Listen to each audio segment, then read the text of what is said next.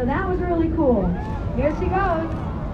She's doing like a, kind of a back arch there.